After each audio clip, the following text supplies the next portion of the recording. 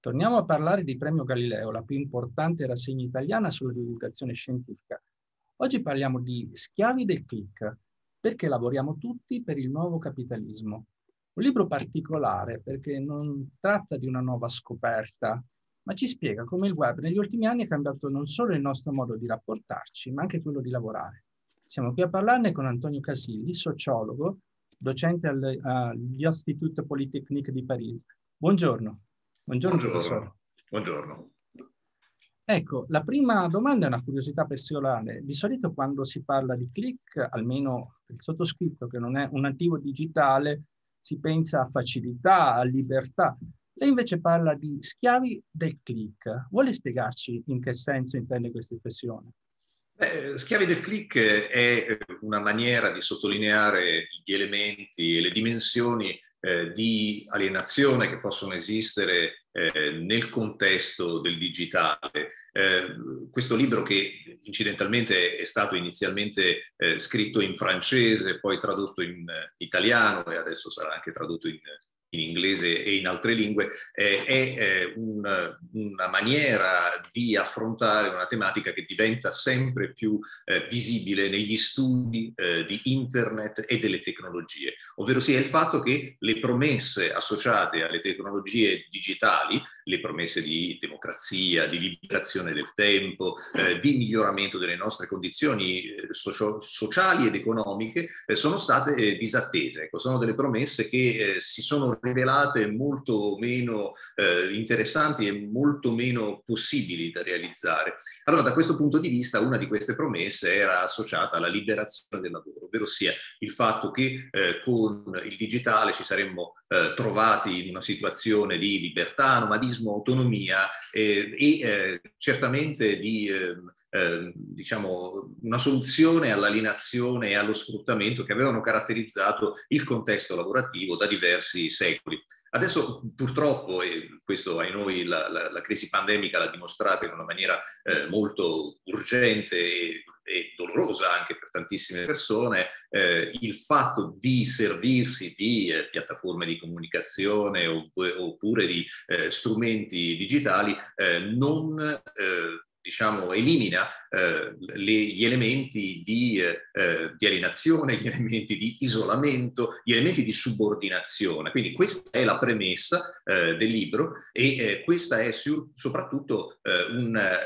una cosa che abbiamo davanti agli occhi po' tutti e un po' tutte, eh, il fatto che sostanzialmente eh, ci troviamo all'interno di un sistema nel quale produciamo valore, non soltanto in contesti lavorativi classici, voglio dire, se io sono eh, un dipendente di un'azienda e mi servo di una piattaforma come Zoom, una piattaforma di mail, una qualunque altra piattaforma di comunicazione, certo sto producendo del valore per la mia azienda, ma anche per la piattaforma ma eh, c'è una eh, maniera più subdola eh, di diventare, tra virgolette, schiavi del click, ovvero sia eh, di produrre valore anche durante il nostro tempo libero, anche durante le nostre attività eh, di consumo. Eh, pensiamo per esempio all'uso di piattaforme di entertainment, quelle di video, quelle, so, di musica, di immagini e via di questo passo, che sono estremamente popolari da Instagram a Netflix, eh, noi eh, cliccando produciamo valore che queste aziende sono capaci eh, di monetizzare principalmente in due maniere. La prima è che rivendono questi dati, ovvero sia li monetizzano, e la seconda è che si servono di questi dati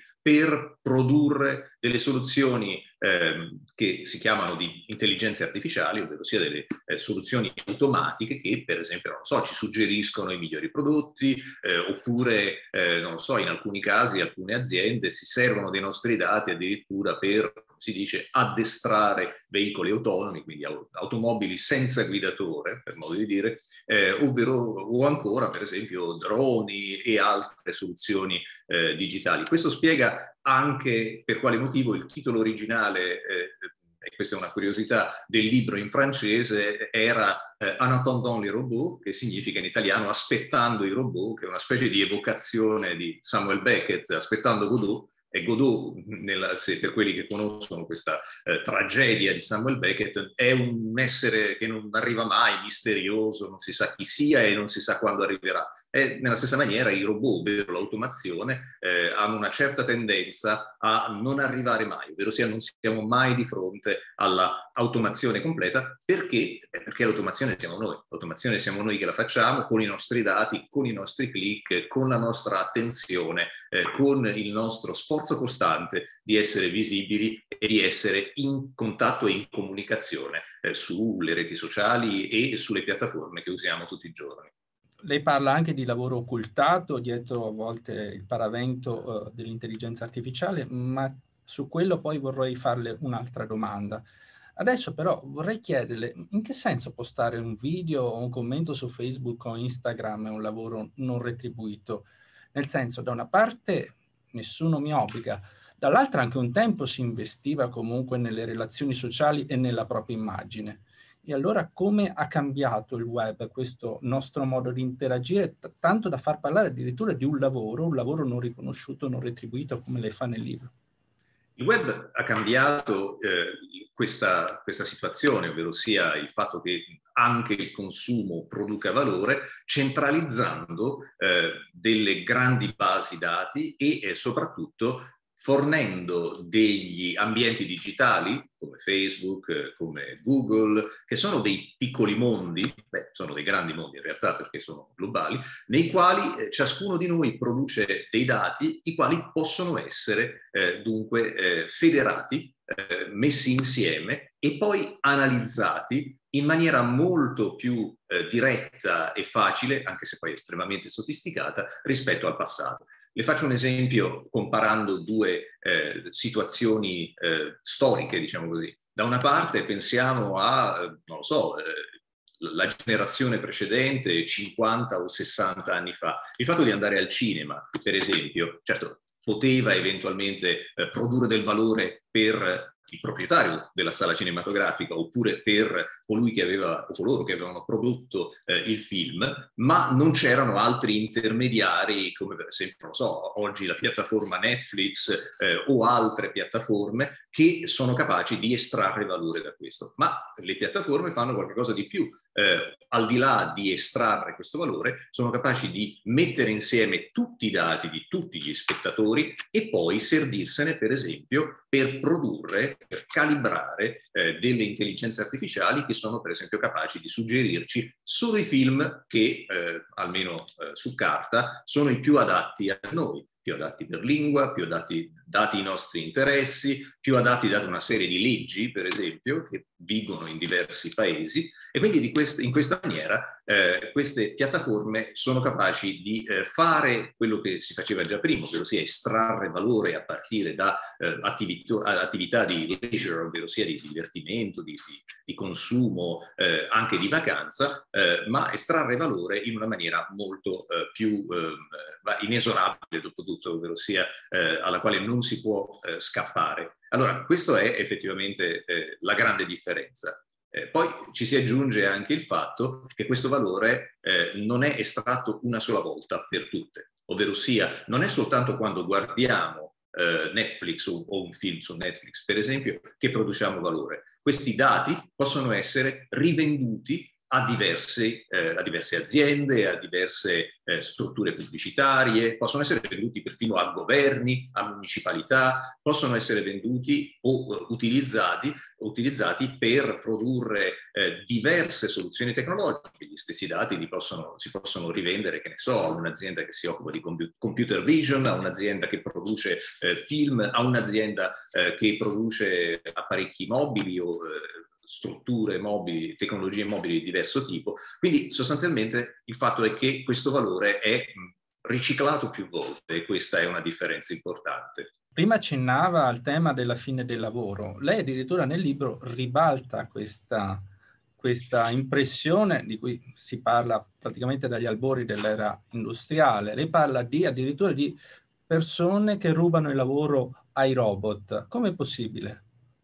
Allora, questo libro, Schiavi del click, è basato su una provocazione, una grande provocazione. Il fatto di sovvertire la retorica eh, molto conosciuta eh, della nostra civiltà, che è la civiltà della fine del lavoro, e eh, piuttosto insistere sul fatto che questa fine del lavoro è una profezia che non si realizza mai è una eh, idea che circola nella nostra civiltà in realtà eh, beh, dal eh, XVII secolo. Ci sono degli esempi che, che risalgono eh, effettivamente a, a, quell'epoca di persone che dicono, beh, abbiamo inventato una macchina eh, che ci permette di fare eh, il lavoro di 10, 50, 100 operai, oppure abbiamo inventato la fabbrica che non ha più bisogno di operai. Quindi già agli albori eh, della rivoluzione industriale c'erano pensatori, inventori, governi che cercavano di spingere eh, queste tecnologie. Resta il fatto che eh, se guardiamo i dati,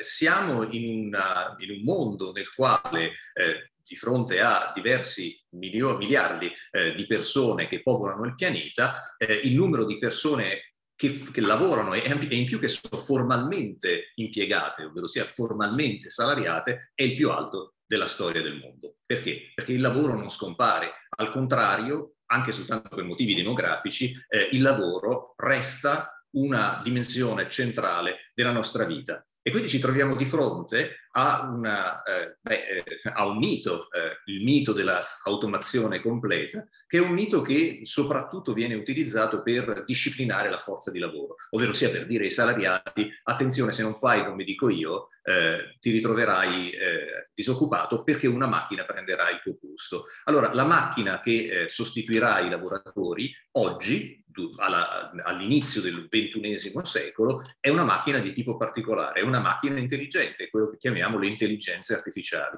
o l'intelligenza artificiale singolare in italiano piuttosto. Questa intelligenza artificiale è, eh, beh, ce la immaginiamo sempre come dei sistemi eh, che hanno una intelligenza sovrumana, la realtà è molto diversa. Eh, Siri eh, o Cortana nei nostri telefonini sono eh, delle intelligenze artificiali e sono molto poco intelligenti e il, eh, questo libro dimostra che sono anche molto poco artificiali perché per, per poter far funzionare questi sistemi c'è bisogno eh, di eh, aggiungere, di produrre, di fornire un lavoro umano che è un lavoro poco conosciuto, certamente poco conosciuto in Italia rispetto ad altri paesi, eh, e che è un eh, lavoro detto lavoro digitale eh, che è eh, un lavoro del click, ovvero sia un lavoro di produzione di dati, un lavoro a volte eh, di verifica dei dati prodotti da questa intelligenza artificiale e in alcuni casi addirittura è un lavoro di imitazione dell'intelligenza artificiale. Eh, l'esempio forse più cinico ma anche più eh, chiaro è quello di Amazon Mechanical Turk,